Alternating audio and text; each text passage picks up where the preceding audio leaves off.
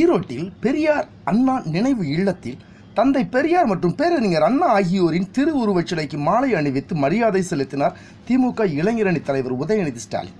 பெரியார் வாழ்ந்த இல்லத்தில் வைக்கப்பட்டுள்ள புகைப்படங்களையும் அவர் பயன்படுத்திய பொருட்களையும் பார்வையிட்டார். இதனைத் தொடர்ந்து செய்தியாளர்களிடம் பேசிய உதயநிதி ஸ்டாலின் இந்தி எதிர்ப்பு போராட்டம் தற்காலிகமாக வாபஸ் பெறப்பட்டுள்ளது. எந்த மொழிக்கும் திமுக எதிர்ப்பு கிடையாது. இந்தி மொழி திணிப்புக்குத்தான் எதிர்ப்பு தெரிவிக்கின்றோம். மீண்டும் இந்தி திணிக்க முயற்சித்தால் போராட்டம் நடத்தப்படும். நடிகர் விஜய் தனுஷ் ரசிகர்களுக்கு ஃப்ளெக்ஸ் பேனர்கள் வைக்க வேண்டாம் என்று கூறியதை வரவேற்பதாகவும் முதல்வரின் வெளிநாட்டு பயணம் தொடர்பாக வெள்ளை அறிக்கை வெளியிட வேண்டும் என்றும் திமுக இளைஞரணி தலைவராக பொறுப்பேற்றுக் கொண்டு முதன்முறையாக பெரியார் பிறந்த இல்லத்துக்கு வந்துள்ளது. வாழ்நாள் பெருமையாக கருதுவதாக உ- உதயநிதி ஸ்டாலின் தெரிவித்துள்ளார். ஒண்ணுல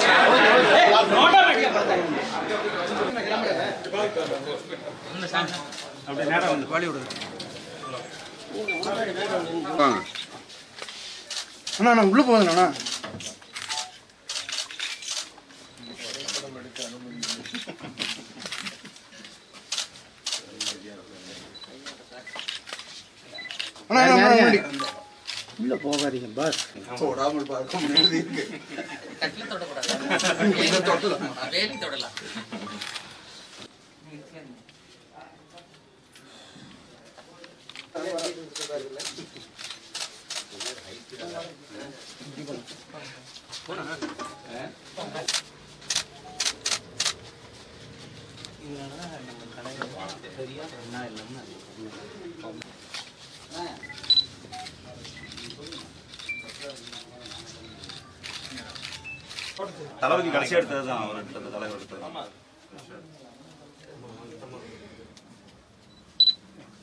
அண்ணா கொஞ்சம் வாங்க. அண்ணா கொஞ்சம் அப்படி பாத்து, பாத்து, ப்ளீஸ்.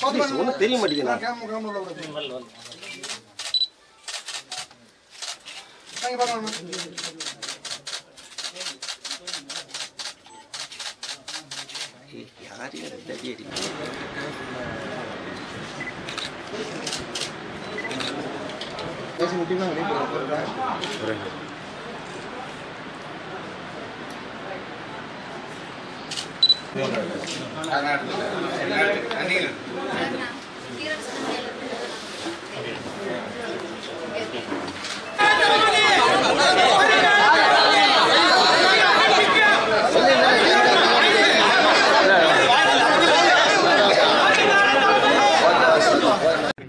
போராட்டம் வந்து வாபஸ் வாங்கியிருக்காங்க. தற்காலிகமாக தான் வாபஸ் வாங்கியிருக்கோம். அமித்ஷா அவர்கள் அவர் சொன்ன வார்த்தையை வந்து நான் திரும்ப பெற்றுக்கிட்டோம்னு சொல்லியிருக்காரு.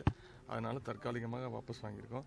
திருப்பி இந்தி நாங்கள் எந்த திராவிட முன்னேற்ற கழகம் மட்டும் க- தலைவராக இருக்கட்டும் எந்த மொழிக்கும் எதிர்ப்பு கிடையாது. இந்தி திணிப்புக்கு தான் எதிர்ப்பு.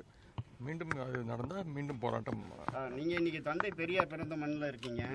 இன்னைக்கு வந்து தந்தை பெரியார் முழுமையா இதைத்தான் வலியுறுத்தி இருக்காரு ஹிந்திக்கு போற நீங்க கூட பார்த்துருக்கலாம். அவர் இந்தி திணிப்புக்கு தான் எதிர்ப்பு தெரிவிச்சிருக்கோம். சார் இப்போ பார்த்தீங்கன்னா நடிகர் விஜய் வந்து பேசும்போது அரசியலினுடைய தாக்கம் வந்து அதிகமாக இருக்கு அப்படின்னு சொல்லி அது பெரிய ஒரு விமர்சனமாச்சு. நீங்களும் ஒரு நடிகர் அப்படிங்கிற முறையில் இதை நீங்கள் எப்படி பார்க்குறீங்க அவர் என்ன பேசுறா எனக்கு தெரியாதுங்க. நான் ரெண்டு நாளாக வந்து இளைஞரணி உறுப்பினர் பேனர் சேர்க்கை. பேனர் பிரச்சனைக்கு சுபஸ்ரீ பேனர் பேனரை வந்து ஹேஷ்டேக்ல வந்து போடுங்கன்னு சொல்லி நான் அவங்க இல்லத்துக்கே சென்று நான் வந்து என்னுடைய இரங்கலை தெரிவிச்சிருக்கேன்.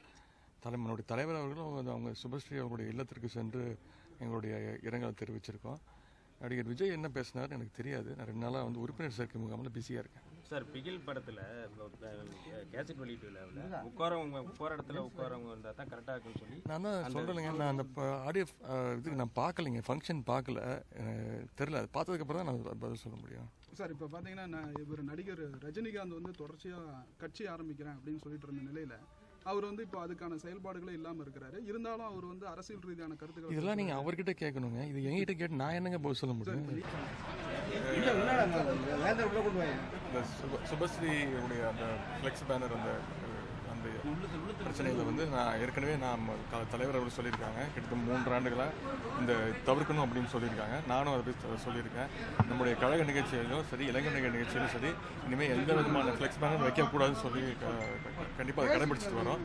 அதே அதே மாதிரி நடிகர் அஹ், சகோதரர் விஜய் அவர்களும் தன்னுடைய ஆடியோ கேசட் ஃபங்க்ஷனில் வந்து இதை பற்றி பே- பேசியிருக்காரு. தன்னுடைய ரசிகர்களுக்கு அவர் அறிவு அறி- சொல்லி அறிவுறுத்தல் சொல்லியிருக்காரு. இது பாராட்டத்தக்க ஒரு நல்ல ஒரு சார் தமிழக முதல்வர் வெளிநாட்டு பயணம் வெளிநாட்டு பயணம். தமிழக முதலோட வெளிநாட்டு பயணம் வந்து எந்த வகையில் வந்து முதலீடு நீங்க பார்க்கறீங்க? ஆமாங்க அவர் வந்து நம்ம தலைவர்கள் கேட்டிருக்காங்க வெள்ளை அறிக்கை வேணும் எத்தனை எவ்வளோ முதலீட்டாளர்கள் எவ்வளோ அப்படின்னு கரெக்டாக சொல்லுங்கன்னு சொல்லியிருக்காங்க. இது வரைக்கும் அதுக்கு எந்த விதமான ஒரு பதிலும் கிடையாது. திருப்பி இன்னொரு வெளிநாட்டு பயணத்துக்கு அஹ், போ- போ- போறேன்னு சொல்லியிருக்காரு. ஏற்கனவே ரெண்டு உலக முதலீட்டாளர் நடத்தி அது அது விஷயமாவும் எந்த ஒரு- தெளிவான ஒரு பதிலுமே கிடையாது. அதனால போயிட்டு வந்து கரெக்டான ஒரு வெள்ளை அறிக்கை கொடுத்தா தான் இதை நம்ம சொல்ல முடியும். ரொம்ப பெருமையாக நான் நினைக்கிறேன். அதுவும் வந்து இளைஞரணி செயலராக பொறுப்பேற்ற பிறகு முதல் முறையாக நான் வந்து அந்த பெரியாருடைய இல்லத்துக்கு வந்தது. என்னுடைய வாழ்நாள் பெருமையாக நான் கருதுறேன்.